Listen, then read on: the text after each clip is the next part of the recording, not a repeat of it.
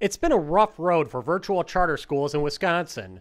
The state teachers union and the previous Democrat administration and legislature worked to limit virtual schools in the state. WEAC even tried to shut us down by taking us to court, and they won at first. At that point, we needed emergency legislation to keep our schools' doors open. In order to secure that, we had to agree to an immoral and unjustifiable cap. It was an awful choice. But we told you to be patient.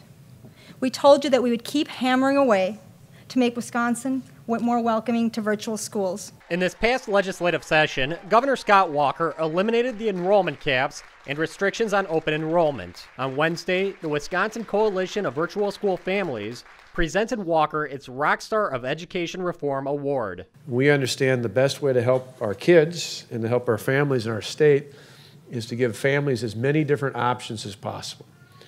And so certainly we were pleased to lift a cap, an arbitrary cap that was put in place in the past in this budget. I was so thrilled and, and honored to have such a great group of lawmakers in the Assembly and the Senate uh, who voted uh, with us in that, particularly, I know in the past, particularly in the, uh, the Finance Committee, uh, Alberta Darling and uh, uh, State Senator Alberta Darling, who I see here, and Luther Olsen was on the Finance Committee and chairs education, and then in the State Assembly, Robin Vos, who's the co-chair of that committee, and all the members who are here, just really standing up and making sure that that remained intact throughout the budget process.